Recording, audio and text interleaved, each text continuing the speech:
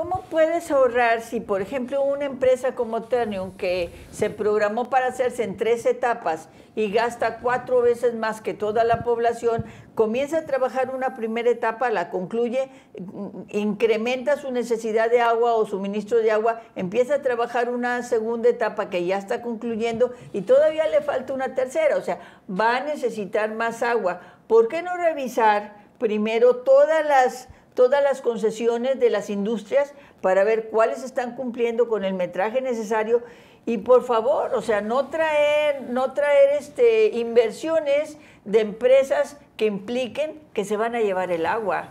Porque mira, si no hubiera agua, es ilógico, si no hubiera agua, ¿por qué está aquí la cervecería? ¿Por qué está aquí la, la, embotelladora? ¿Por qué está aquí FEMSA? ¿Por qué está aquí la coca? ¿Por qué está aquí? Si no hubiera agua, o sea, hay agua.